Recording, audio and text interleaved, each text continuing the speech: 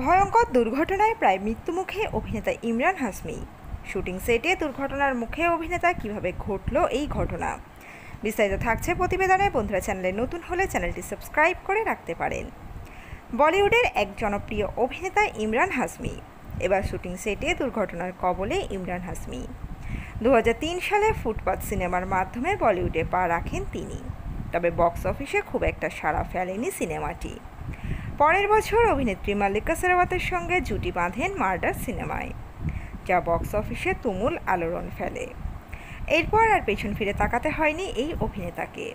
সবশেষে tiger three সিনেমায় খল চরিত্রে অভিনয় করে দর্শকদের নজর কাড়েন তিনি। টাইগার থ্রি সিনেমার পরই ঘোরচারি ট্যুর শুটিং শুরু করেন ইমরান। সেই শুটিং সেটে দুর্ঘটনার মুখে পড়েছেন অভিনেতা। সামাজিক যোগাযোগ মাধ্যমে সেই দুর্ঘটনার কিছু ছবি ভাইরাল হয়েছে। যেখানে দেখা যায় চোয়ালের নিচ থেকে রক্ত গড়িয়ে পড়ছে।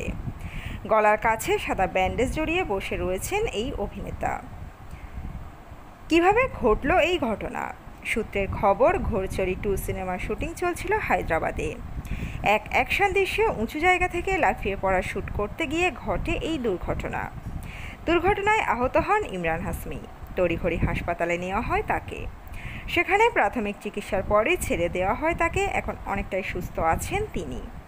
দু হাজার চব্বিশ সালের ফেব্রুয়ারিতে ইমরান হাসমি ঘোষণা করেছিলেন এই ছবির কথা। পাশাপাশি শেয়ার করেছিলেন ফার্স্ট লুক, সিনেমাটি পরিচালনা করছেন আদিফির শেষে।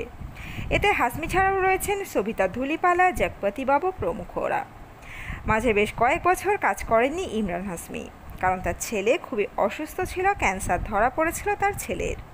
ছেলের জন্যই কাজ বন্ধ রেখেছিলেন ইমরান। শোনা যায়, নায়ককে এককালে ইন্ডাস্ট্রিতে কোণঠাসাও করা হয়েছিল।